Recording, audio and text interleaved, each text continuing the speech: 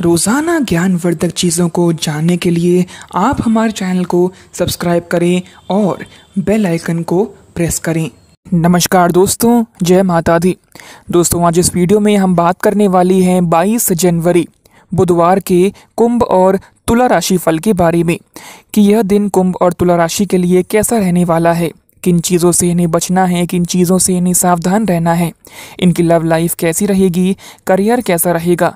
Business और व्यापार कैसा रहेगा? और स्वास्थ्य की जानकारी आपको देंगे। तो अगर आपकी भी राशि कुंभ या तुला है तो आप इस वीडियो को बिल्कुल भी मिस ना करें और इसे अंत तक ज़रूर देखें। चलिए शुरू करती हैं।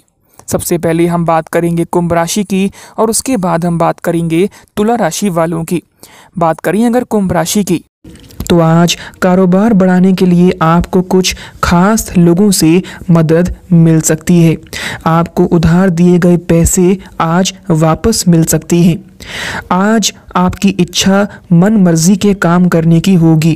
किसी योजना पर उतना ही आप आगे बढ़ें जितने से दूसरे लोग सहमत होते हों। लव लाइफ की बात करें तो जीवन साथी से अनबन होने के योग आज बन रहे हैं। व्यसनों से आप दूर रहें। फालतू दिखावा भी ना करें। स्वास्थ्य की बात करें तो आलस्य और थकान आज आप महसूस करेंगे। करियर और शिक्षा की बात करें तो किसी खास काम में कोई गलती भी आज हो सकती है। आज आपका खर्चा भी बढ़ सकता है, इसलिए जितना हो सके खर्चों पर कमी करें। बिज़नेस की बात करें तो एक काम निपटने के बाद ही दूसरे काम में हाथ डालें। जो काम आपकी नज़र में निपट गया हो, उसे भी एक और बार जाँच लें। भरोसेमंद लोगों पर ही आप आज के दिन भरोसा करें। दोस्तों, आपसे अनुरोध है कि आप कमेंट सेक्शन में सच्चे दिल से जय श्री गणेश अवश्य लिखें और वीडियो को लाइक और शेयर अवश्य कर दें। बात करें अगर तुला राशि की। तो आज आर्थिक स्थिति आपकी अच्छी रहेगी। नए इनकम सोर्स मिलेंगे, जिनसे आपकी आय में वृद्धि होगी। घरेलू स्तर पर आज आपको तालमेल बिठाकर चलना होगा। इस दौरान आप अपने लिए कुछ नए वस्त्रों की खरीदारी कर सकते हैं। दाम्पत्य जीवन में उतार चढ़ाव आज लगे रह सकते हैं।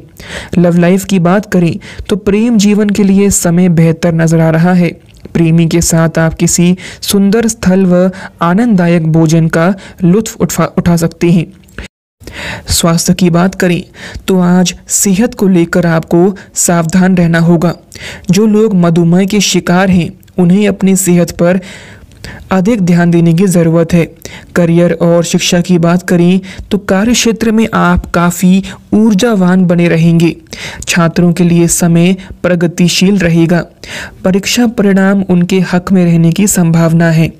बिज़नेस की बात करें तो प्रॉपर्टी डीलिंग का बिज़नेस कर रहे लोगों को आज अच्छा लाभ मिल सकता है।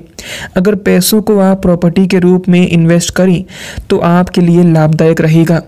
दोस्तों, आपसे अनुरोध है कि आप कमेंट सेक्शन में सच्चे दिल से जय श्री गणेश अवश्य लिखें।